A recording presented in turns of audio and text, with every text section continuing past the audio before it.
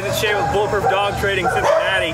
Today we've got Daisy here. Daisy's a nine-month-old Rottweiler, and she's been having some trouble jumping on some people, and uh, she's also just a little skittish. And their owners would like her to be a little more confident. All right, so uh, she's here for the 15-day board and train, so we're gonna go ahead and see what she knows first. All right, Daisy, come, come, come. Come. She's not really interested in me. All right. Well, let's see if she knows how to sit. Daisy, can you sit? Sit. Sit, good girl. You do know how to sit. All right. All right. Can you go for a walk? Let's go for a walk. Come on, Daisy. Come on. Come for a walk. Go. Come on. Let's go. Come. Come on. Oh, all right. Oh, well, she's fighting me every step of the way. Let's see if she knows how to down. Daisy, can you down? Down. Oh, that's the opposite of down. All right, well, we're gonna work on that. Uh, all right, so let's see what she does in the next 15 days, and uh, follow her on social media and see what her progress looks like.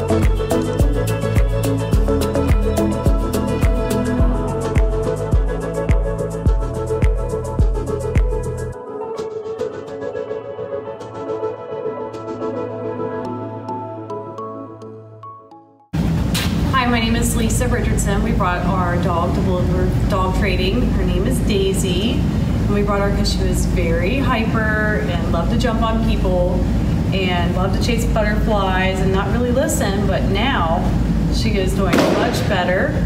She is staying right with us and she is uh, doing her sit and stay in her place. And uh, it's amazing transformation from where she was to where she is now.